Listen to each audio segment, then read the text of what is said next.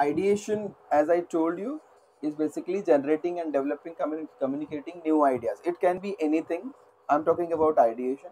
It can be anything but when people come together they sit together they discuss for a particular uh, problem that that may happen over there with company organization and they discuss and come up with new new ideas a certain time new creative innovative idea.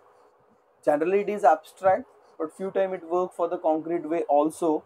So when they come up with new innovative way or the idea or novelty that is called as ideation. Now the goal is very simple for the ideation. Why there is a need of ideation altogether? Okay? Especially in the advertisement because you people are future copywriter. So for that you want on the top of the mind of your consumer they should recall your product. That is why there is need of ideation the first and all when they when they go through with any particular type of the products or service they have to first recall your product. So ideation is important okay? And as per the needs and requirement of the customer you have it should be fit in the mind of uh, consumer once again okay? So what what is the top of the mind recall? For example when i say cold drink cold drink. Now all different people some people will think about coca cola some will think about thums up maybe mountain dew and sprite.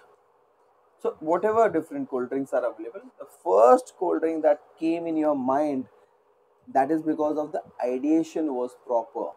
And it is top of the mind. हमने recall कर लिया कि cold drink means what? Getting?